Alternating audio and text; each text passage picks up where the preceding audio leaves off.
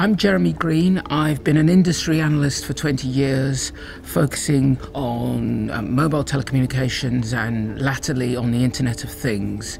I think that connected vehicles are going to eventually make our cities very different. Fully autonomous vehicles are probably going to be delivered as, as part of cars as a service rather than as individually owned vehicles. City centres are going to have little pods shuttling about that you step into and they go to where you need to be, then it's going to go away and I'm not going to think about it anymore. It's not going to be my little pod that I'm going to have to then spend almost as long looking for somewhere to park as I did making the journey.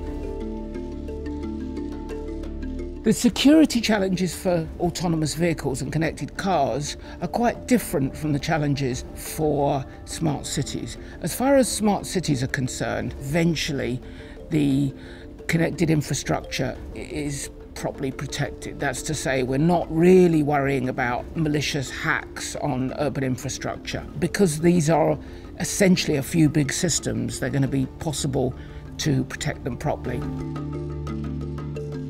As far as connected cars are concerned, though, it's necessary for the car to be accessible for lots and lots of different entities the repairer, maybe the manufacturer. So the challenges for a car are you can't make it completely hack proof. How do you uh, make it as hack proof as possible and reduce the consequences of a hack on a car?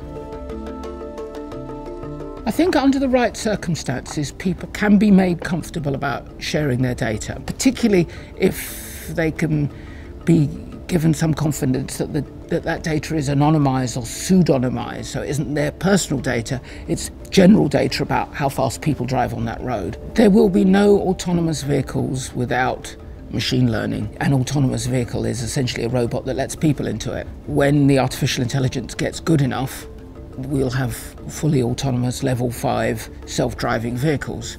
Ultimately, I think cars are heading for a commodity hardware platform. As they become less personal items, they'll become better commodity hardware platforms. Big thing of the next couple of years are going to be the add-on devices. I think connectivity and connected car services are actually moving faster than the cars. So it ought to be the case that you can have add on devices that will give people some of the benefits of connected cars without them having to change their car.